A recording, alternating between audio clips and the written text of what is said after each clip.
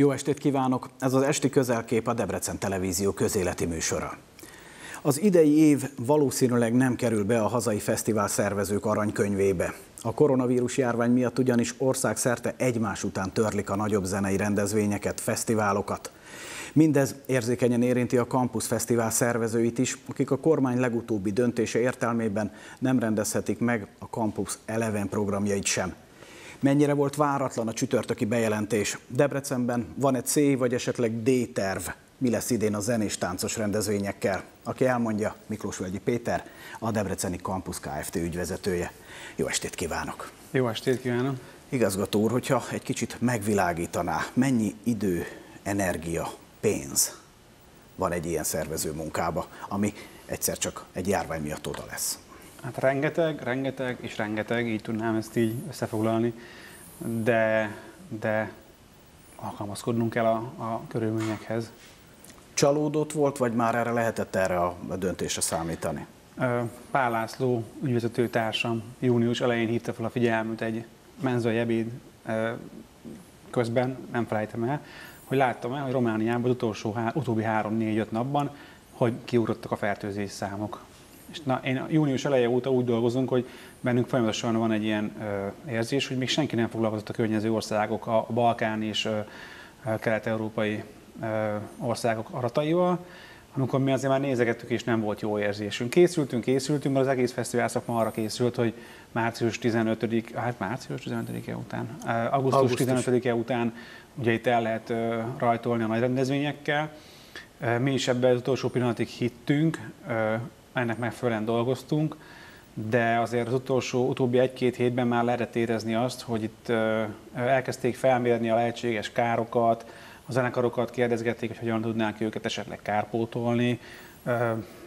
Ugye két héttel ezelőtt volt, hogy Kásler miniszter úr helyesebben nem is ő, hanem hanem Palkovics miniszter úrnak volt egy interjúja, ami már utalta arra, hogy, hogy itt nem valószínű, le, lehet enyhítés, úgyhogy benne van ez a levegőben. De ettől függetlenül nyilván, nyilván óriási csalódottság egy, egy, egy ilyen csapatnak, mint mi vagyunk, egy ilyen döntés. Hány fő sorsáról kell gondoskodnia ügyvezetőként?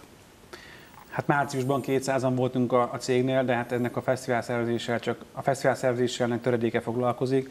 Ugye mi vendéglátással és rendezvényszervezéssel foglalkozunk a fesztivál szervezésen kívül. Most nem kell hát mondanom, ennek az a... ágazatnak sem fákjás menet az elmúlt időszak? Hát március 17-e óta bezárt minden iskolai konyhánk, minden egyetemi konyhánk egy kivételével, úgyhogy nem egyszerű ott sem megtalálni azt az utat, ami, ami lehető legjobb.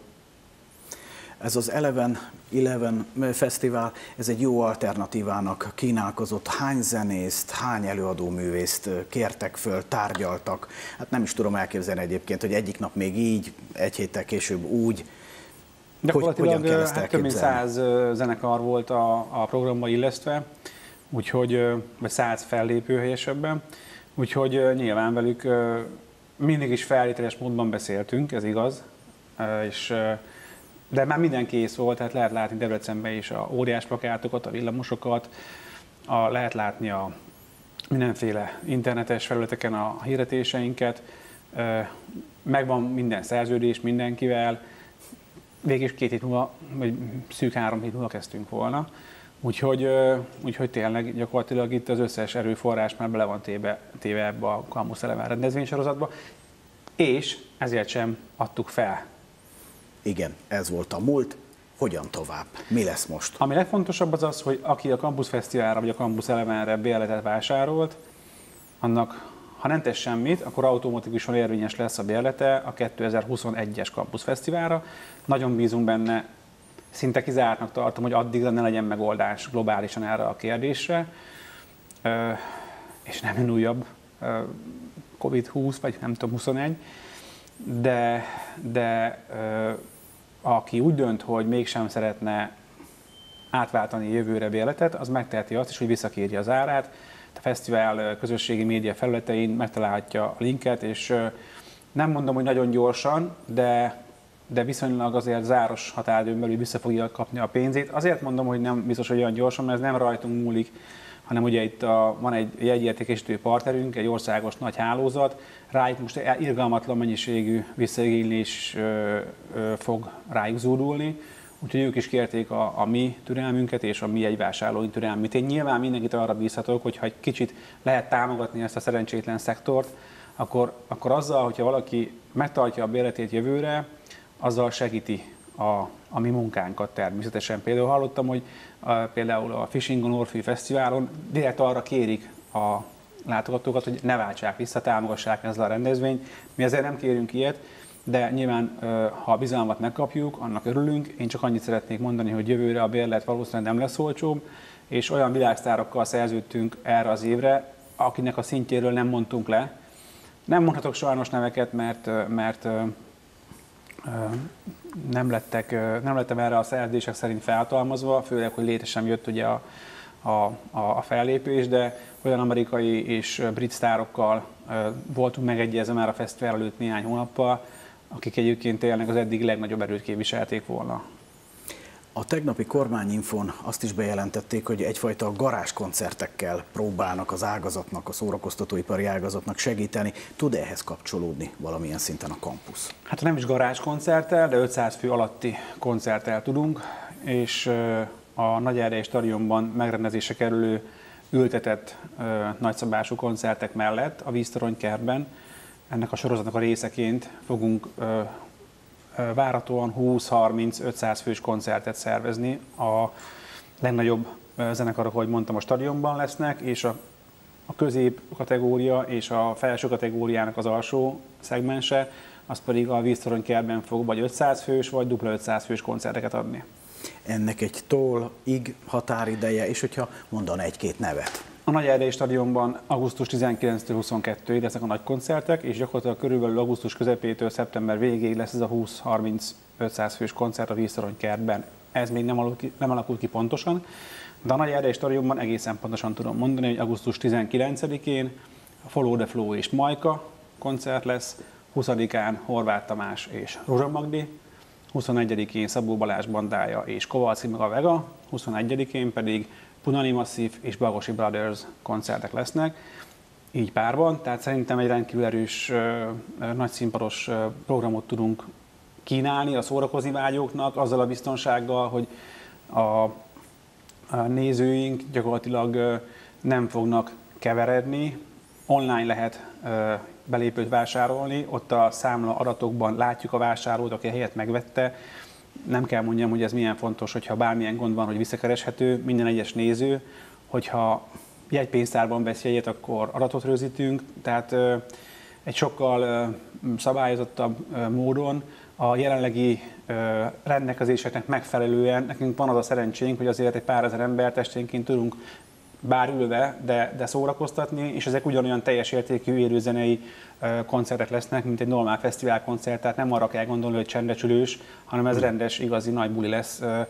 Ülve kell megnéznünk, ezt hangsúlyozom, de most ebben a helyzetben én szerintem még ez is egy nagyon-nagyon jó és országosan egyedülálló lehetőség. Fél percünk maradt, ez az év valószínűleg már a túlélésről fog szólni. Forintosítható-e már most a veszteség? Hát abszolút forintosítható.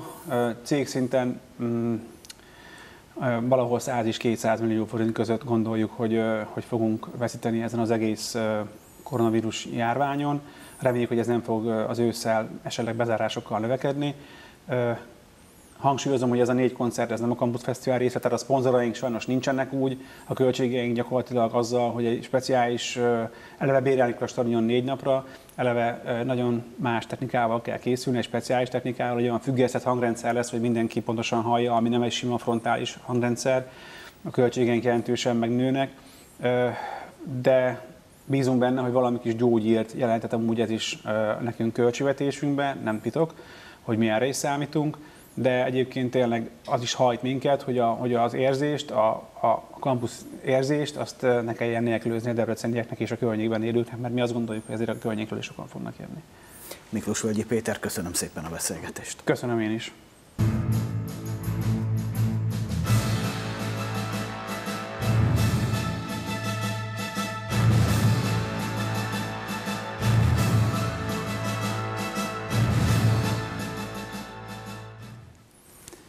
Minden előzetes várakozást felülmúlóan teljesít az új Aquaticum Debrecen strand. A város legújabb turisztikai attrakciója megnyitása óta hihetetlen látogatói számokat produkál, ami még a legoptimistább előrejelzéseket, reményeket is magasan felülmúlja. Különösen érdekes mindez a koronavírus járvány időszakában, illetve akkor, ha visszagondolunk a mögöttünk lévő hűvös, esős hetekre, hétvégékre. Mi történt a nagy erdőn? Mit mutatnak a számok? Milyen tapasztalatokat szereztek az üzemeltetők a nyitás óta? Egyebek mellett erről lesz szó a következő percekben. Vendégem a stúdióban Fazekas Lajos, a Debreceni Gyógyfürdő Kft. ügyvezetője. Igazgató úr, mi történik a nagy erdőben? Zajlik az élet, hál' Istennek. Valóban annak ellenére, hogy a nyár eddig nem fogadott a kegyeibe bennünket, hiszen nem mondhatjuk azt ellentétben a mai nappal, amikor kifejezetten strandidő van, hogy elkényeztetett bennünket az igazi nap, kánikulai napokkal. Ennek ellenére az új strandon olyan a látogatói létszám, amely valóban a mi várakozásainkat is fölülmúlja. Na hát mik a legújabb számok, és hogyha a szívére teszi, nem tudom, elárulja ön másfél hónappal durván a nyitás után milyen előzetes számokkal lett volna elégedett? Ugye mi annak idején úgy kalkuláltunk, hogy egy teljes szezonra, amely négy és fél hónapot ölel magába, hiszen egy tisztességes strand az május elején nyit és szeptember közepéig nyitva van, egy 150-160 ezer fős látogatói létszámban gondolkoztunk, és hát most 40 nap után, hiszen június 20-án volt az első üzemelési napja az új strandfürdőnek, most pedig ugye a hónap július utolsó napja van, tehát ez a 41. nap, amikor üzemelünk, már átléptük a 60 ezeres létszámot, sőt én azt gondolom a mai nappal a 65 ezeres létszámot is át fogjuk lépni. Hogyha ezt arányosítjuk, hogy még ugyanennyi hátra van, és egy nagyon erős augusztusban bízunk, akkor tulajdonképpen az, amit mi négy és fél hónapra vártunk, az bő két hónap alatt meg fog valósulni üzemeltetésbe 40-41 néhány nap. Milyen tapasztalatok vannak? Az elején egy picit, mondhatom talán így, döcögött a beléptetés, de most már, mint hogyha ott is minden rendben lenne. Ketté kell választani a üzemeltetési tapasztalatokat, hiszen egy műszaki rész és egy konkrét üzemeltetési tapasztalat is felhalmozódott, ha szabad ezt mondani bennünk 41 nap alatt mint minden új létesítményben, ami beüzemelésre kerül, előkerültek azok a műszaki technológiai feladatok, kisebb problémák, amelyeket meg kellett oldani. Ez alapvetően vízhőmérséklet, vízgépészet finom hangolása, amelyeken azt gondolom, hogy úgy úrá tudtunk lenni, hogy ezt a vendégek észre se vették, É, szerintem ez minden új házban is így van, amikor valaki beköltözik egy új házba, mire kitapasztalja a fűtésrendszert, mire a szellőzést, akkorára azért eltelik egy pár hét. Mi is ezeket a lépcsőket végigjártuk, de azt gondolom, hogy most már valóban minden csinyát, ismerjük a gépészetnek, így aztán ilyen problémák már reméljük a jövőben nem fognak adódni.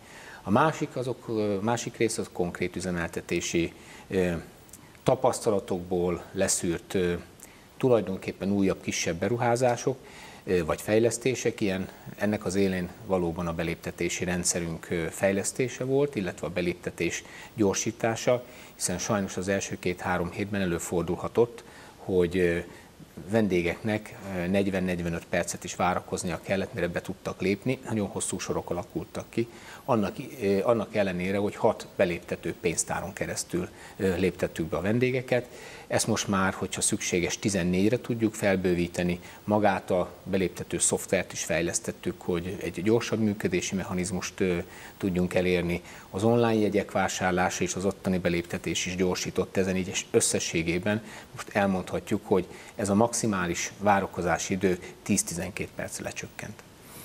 A beléptetés jelentősen gyorsult. Mi a helyzet a strandon, ha már üzemeltetésnél vagyunk, ott rengeteg vállalkozó, büfék többsége már nyitva van. Így van, hát nekik sem volt egy könnyű időszak a elmúlt három hónap a koronavírus járvány miatt. Ennek ellenére mindegyik ők a fejlesztését folyamatosan végezte, és tulajdonképpen a vendéglátóüzletek 90%-a a strandnyitással, illetve a mai nappal már üzemel. Tulajdonképpen két üzlet van, amely augusztus elején fog megnyitni, de ezek az üzletek egész évben nyitva lesznek, tehát nem csak abban az egy hónapban élvezhetik a vendégek, vagy bő egy hónapban, amíg nyitva van a strand, hanem utána is a szolgáltatásokat.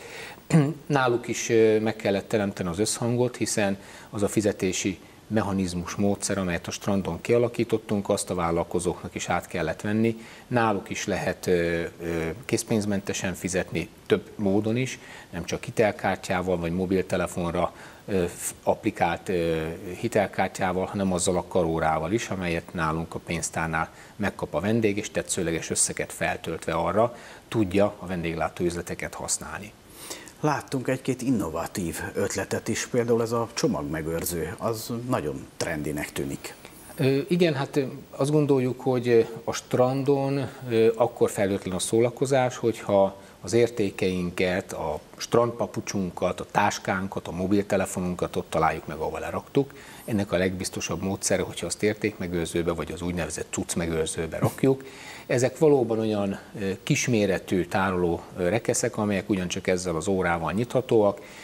Ide nem öltöző kabin méretű szekrényeket kell gondolni, valóban egy kézitáska, mobiltelefonok, pénztárca, kocsikús befér, és én azt gondolom, hogy egy ilyet használva sokkal nyugodtabb és felhőtlenebb a szórakozás a strandon. Igazgató mennyien lehetnek egyszerre egy időben a strandon? Ki kellett -e már tenni, ki lehetett volna -e már tenni a megtelt táblát? Határeset volt, hogy nagyon közel jártunk ehhez, hiszen a hivatalos egyidejű befogadó képesség a Debreceni strandnak 4403 fő, az egy nap alatt fogadható vendégek száma a szűk 8000 fő. Ez a 4403 fős egyidejűséghez három héttel ezelőtt szombaton nagyon közel jártunk, akkor több mint 4100 vendég volt benne egy időben a strandon, úgyhogy készenlétbe kellett helyezni a megtelt táblát, de még ezt nem értük el. Hát reméljük, hogy ilyen népszerű marad a továbbiakban is a strand, és ha ki is kell tennünk ezt a táblát, akkor is akik esetleg kívül rekednek a strandon, azok egy másik nap majd ki tudják próbálni egészségügyi szabályoknak is nagyon meg kell felelni. Mit vesz ebből észre a strandoló? Tulajdonképpen az a jó, ha semmit. Hiszen úgy érzi, hogy biztonságban van, nincs az egészsége veszélyben, hiszen azért nem szabad elfelejteni, hogy a koronavírus járvány az nem múlt el. Szerencsére, mint ahogy az egész országban, itt Debrecenben is nagyon kicsik a megbetegedések száma, a strandot felhőtlenül lehet élvezni, de nekünk ez sok, sokat kell tennünk. Az egyik legfontosabb például, hogy a forgatott vízümedencékben hogy a klóros fertőtlenítés van, a klórszintet kismértékben meg kellett emelni, ez egy nagyon biztonságos vízfertőtlenítési módszer, mind a bakteriális, mint pedig a virucid fertőtlenítést végre lehet ezzel hajtani. Emellett minden olyan közösségi térben, öltözőben, vagy a napozó teraszokon azokat a felületeket, amelyeket nagyon sokan megfognak, kilincsek, korlátok, nekünk óránként kötelességünk takarítani, ugyancsak olyan fertőtlenítő szerekkel, amelyek úgynevezett virucid fertőtlenítő szerek elősegítik azt, hogy a, a vendégek és természetesen, természetesen a saját dolgozóink is biztonságban, az egészségüket biztonságban érezzék. Fél percünk maradt, nagyon jó számokat lehetett hallani az Aquaticum Hotelről is. Hál' Istennek három hónap zárás után, vagy bezártság után nagyon jól jött az, hogy már a június vége is, de különösen a július hónap nagyon erősen sikeredett. Bőven 80% fölött van a kihasználtság a szállodának, a vendégeknek tulajdonképpen 98,9% a belföldi vendég, és nem titkoltan többek között az új strand igénybevétele miatt érkeznek ide Debrecenbe.